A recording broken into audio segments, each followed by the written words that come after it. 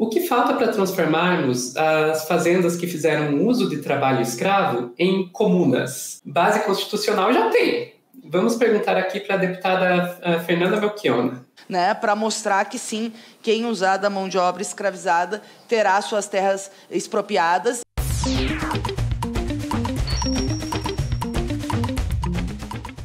Vamos lá. É, deputada, eu queria mostrar rapidinho, antes de passar a palavra para você, trechos de uma fala que você fez na Comissão dos Direitos Humanos da, da Câmara no dia 22 de junho, né?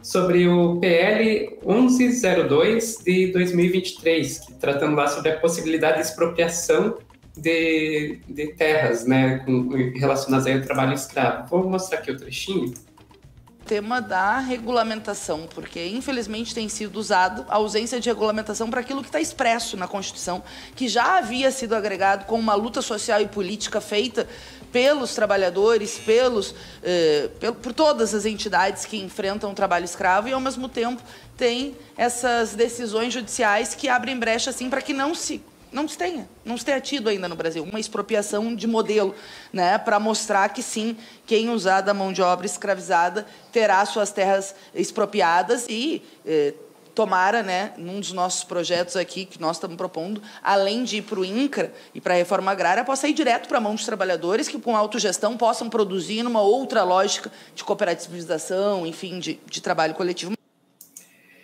É sacanagem eu pegar e dizer que passar as terras, que são o meio de produção, direto para a mão dos trabalhadores, para eles se autogerirem, é, chamar, é sacanagem chamar isso de comuna? Eu acho que não, eu acho que não é sacanagem, porque é algo plenamente factível, né? E que é óbvio, numa lógica do capital, numa, numa sociedade né, como a nossa, que é permeada pelos interesses, por um sistema político voltado a atender os interesses da da minoria, né, daquele 1% da população, dos banqueiros, do agro, etc., parece algo irreal, quando na verdade é plenamente factível. Né? Os modelos de luta coletiva pela reforma agrária ao longo da história do Brasil têm sido uma experiência de autogestão, de organização dos acampamentos, ocupações, etc. E, nesse caso, seria pedagógico, né, Sofia? Porque o que, que acontece? Já foi incorporado na Constituição justamente nesse artigo que trata da possibilidade de expropriação dessas terras que forem eh, comprovadas com trabalho escravo, serem imediatamente destituídas e serem objeto de reforma agrária mediado pelo INCRA. Né? Nunca foi usado. O judiciário, como instrumento ou órgão de classe, tem dito que falta regulamentação e nenhum caso, nenhum caso no Brasil, nas eh, dezenas, centenas de casos de trabalho escravo né, encontrado ao longo dos últimos anos, eh, nenhum caso teve essa expropriação. Eu acho que não seria necessária regulamentação, mas igual, já que não tem eh, acontecido, nós fizemos um projeto também, né, eh, que coloca, entre outras coisas, essa regulamentação e a possibilidade da autogestão, né, direta dos trabalhadores que foram escravizados, que sofreram com essa violência, com essa barbárie, né, que é o trabalho uh, escravo ainda persistente no Brasil, né. Eh, e dois, um outro aspecto da nossa lei que eu acho muito importante é a questão uh, da responsabilidade solidária de quem terceiriza o trabalho. Porque o que aconteceu nas vinícolas lá no Rio Grande do Sul, tu acompanhaste bem. As três maiores vinícolas, que tiveram lucros milionários ao longo dos últimos anos, né, terceirizavam a colheita da uva. E aí lavam as mãos na hora de que a empresa terceirizada é flagrada com mais de 200 casos de trabalhadores eh, né, sendo escravizados, com todas as barbáries eh, promovidas, etc. Fizeram um termo de ajustamento de conduta, pagam uma multa e é isso. Elas não tinham responsabilidade. Só que quando se terceiriza, se está assumindo a responsabilidade de ser corresponsável por uh, degradação do trabalho, por descumprimento de direitos trabalhistas e, casos mais graves, o trabalho escravo. Então, essa nossa proposta abrange os dois aspectos. Nós fizemos, não que a gente tenha ilusão na Câmara dos Deputados, né, Sofia? O resto da fala tu deve ter visto no final. Sim. Eu, inclusive, eu faço esse alerta. É, não, não. Podemos falar aqui ao vivo, tô por ti, tô, tô manda aqui. Não, uh, beleza, mas então. eu não tenho ilusão na Câmara dos Deputados, né? Porque a gente sabe que tem uma maioria da bancada ruralista e da própria extrema-direita que estão atacando justamente áreas uh, mais caras a, a, nós todos, né? O meio ambiente, os povos originários, porque querem aumentar a sua sanha de lucro e tomar conta das terras que uh, são demarcadas, porque esse projeto do marco temporal permite desmarcar terras já demarcadas para os povos originários e, e, inviabiliza as próximas, né, na prática. Então, eles querem avançar sobre os territórios indígenas e tem um movimento dessa mesma bancada ruralista no sentido de flexibilizar a lei do trabalho escravo nos artigos do Código Penal que determinam que é o trabalho escravo.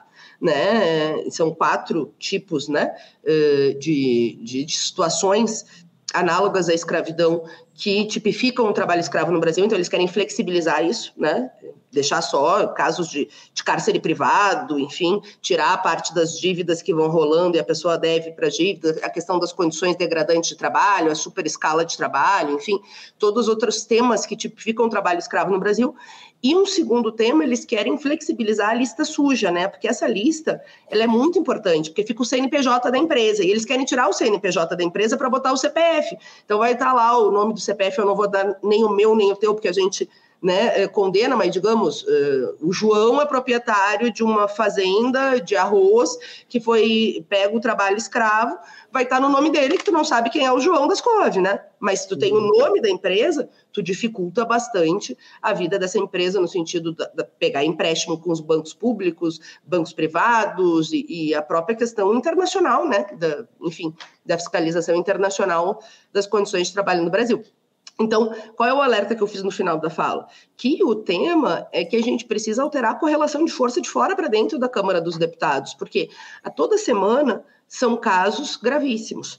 Eles ficam na imprensa um tempo, passa o clamor da imprensa, a bancada ruralista segue tentando flexibilizar essas normas ou empatando o avanço na legislação para permitir medidas mais duras, né, mais radicais no sentido de ir à raiz dos problemas no que diz respeito a, uh, a quem usa né, trabalho escravo em uhum. pleno 2023.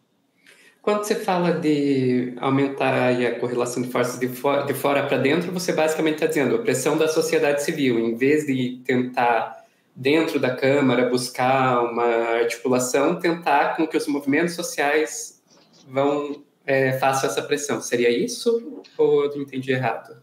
É, não, com certeza, né? Eu digo bem isso, né? Os movimentos sociais populares, os movimentos de trabalhadores, os movimentos que combatem o trabalho análogo à escravidão, os movimentos antirracistas, os movimentos, né? É, de uma forma geral, porque, é, claro, tem cor, né, o trabalho análogo à escravidão no Brasil, a maioria negros, né, como foi uhum. pego lá nas vinícolas no Rio Grande do Sul, ou nos casos ainda mais difíceis de fiscalizar, né, uh, mulheres em condição análoga à escravidão, como, uh, enfim, essa moça senhora na casa do desembargador, né, que uhum. viveu em condições degradantes, sendo né, uma escravizada moderna na prática, e, e, são casos mais difíceis né, de pegar, porque precisa de uma denúncia externa, no sentido da própria fiscalização da Conatrai, dos auditores fiscais do trabalho e tal, mas também né, mulheres negras.